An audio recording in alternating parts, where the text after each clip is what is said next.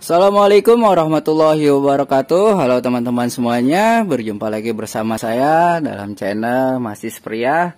Pada kesempatan kali ini saya akan memberikan tips, servis, tutorial Cara memperbaiki kipas angin. Mati total. Bisa teman-teman perhatikan kipas angin ini Kipas angin baling-baling Mereknya Advan ya teman-teman. Ukuran baling-balingnya 18 in di sini kipas angin ini mati total. Dan sebelum kipas angin ini nanti kerusakannya apa, saya akan mencoba mencolokkannya terlebih dahulu ya teman-teman. Ini yang saya sudah siapkan colokan pada steker kipas angin ini ya teman-teman. Di sini ada apinya dan steker pada kipas angin Advan 18 ini saya akan colokan kemudian saklar pada kipas angin ini saya putar ya teman-teman di sini. Namun daun kipas di sana tidak berputar dan di sini pun di dinamo ini tidak ada getaran. Kemudian saya akan buka terlebih dahulu ini teman-teman. Kita lihat apakah baling kipas angin ini lancar atau tidak. Dan bisa teman-teman lihat daun kipas angin ini tidak macet artinya lancar. Namun di sini colokan pada steker ini teman-teman tidak mau hidup sedangkan apinya ada. Oke teman-teman sebelum saya akan membongkar dinamo kipas angin Advan ini teman-teman bisa perhatikan ini agak lebih aman colokannya saya cabut terlebih dahulu.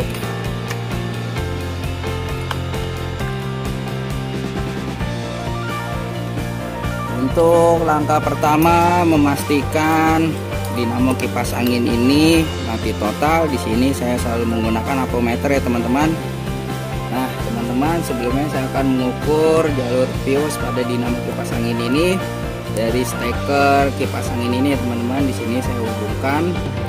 Kemudian saklar pada jalur speed 1 2 3 nya saya akan ukur. Di sini saya putar saja pada satu. Saya ukur teman-teman. Sini tidak nyambung ya teman-teman. Jalur 2 tidak nyambung. Jalur 3 tidak nyambung. Ketika saya kosletkan di sini terukur ya teman-teman Oke teman-teman sudah diketahui bahwa jalur fuse pada kipas angin Advan ini putus mati. Dan untuk cara mengatasinya nanti teman-teman bisa ikutin langkah selanjutnya. Di sini saya akan membuka pala dinamo kipas angin ini. Kita buka saja seperti ini. Untuk langkah selanjutnya di sini teman-teman ada baut daun kipas ini. Di sini saya akan membukanya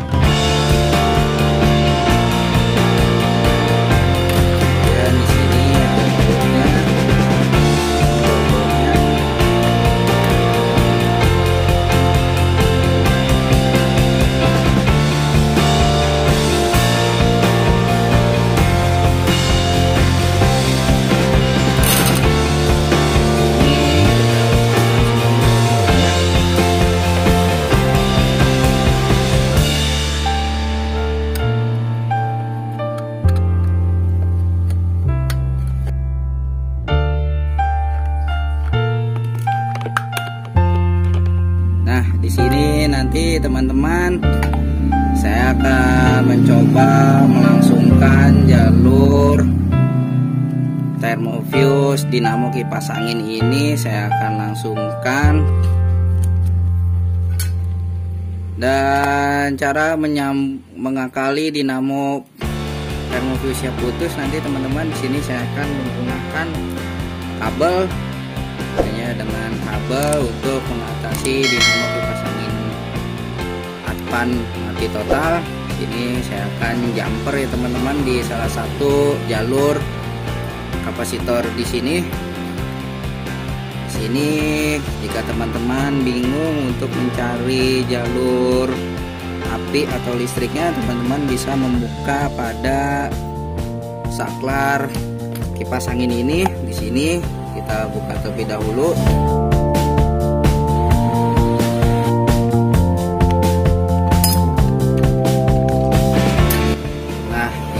teman-teman.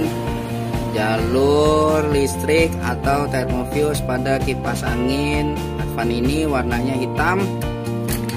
Di sini saya akan mencari jalur warna hitam ya teman-teman untuk melangsungkan fuse yang putus.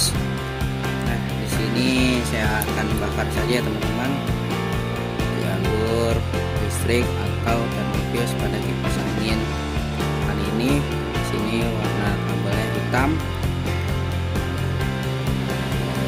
Teman bisa membakar seperti ini.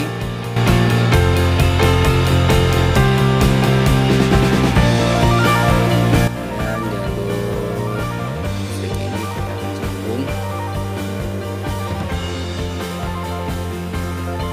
Ini saya sudah sambung ya kawan teman-teman kabelnya agar lebih aman kita selotip terlebih dahulu.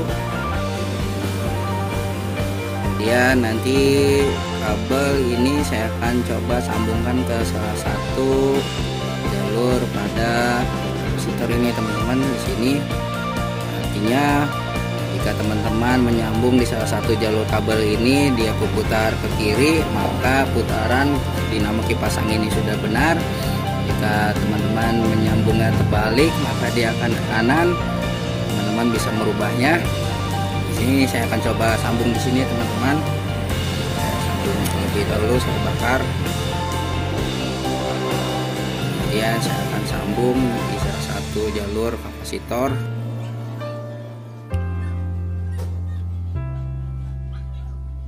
Nah, teman-teman, di sini saya sudah menyambungkan jalur kabel ya teman-teman dengan jalur listriknya atau biosnya. Di sini saya sudah sambungkan. Kita akan lihat di sini saklar pada kipas angin Advan ini. Di saya kasih di nomor satu, kemudian steker kipas angin ini saya akan putar. Ya teman-teman, teman-teman sudah berputar artinya menggunakan kabel bekas untuk mengatasi dinamo kipas angin mati total ini sudah bisa. Seperti itu. Oke teman-teman. Itulah tips service tutorial cara memperbaiki dinamo kipas angin mati total yang mana hanya dengan menggunakan kabel dinamo kipas angin mati total ini bisa hidup kembali. Oke teman-teman itulah tips service tutorial cara memperbaiki kipas angin mati total mudah-mudahan video ini bermanfaat. Jika bermanfaat silahkan like kasih komentar share jangan lupa subscribe. Dari saya cukup sekian. Terima kasih. Assalamualaikum warahmatullahi wabarakatuh